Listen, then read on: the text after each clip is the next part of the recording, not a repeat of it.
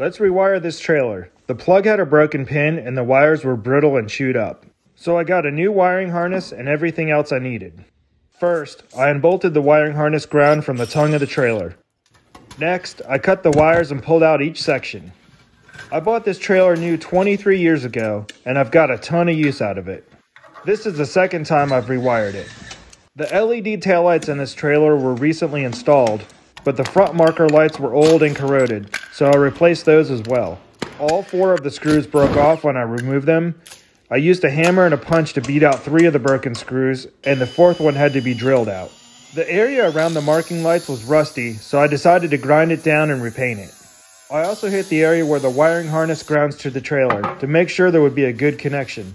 After cleaning the bare metal with paint thinner, I sprayed it with Rust-Oleum's paint and primer in one.